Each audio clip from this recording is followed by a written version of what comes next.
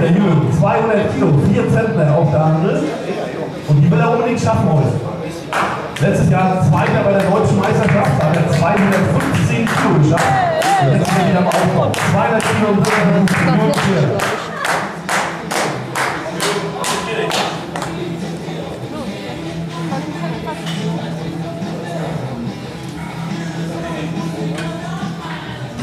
God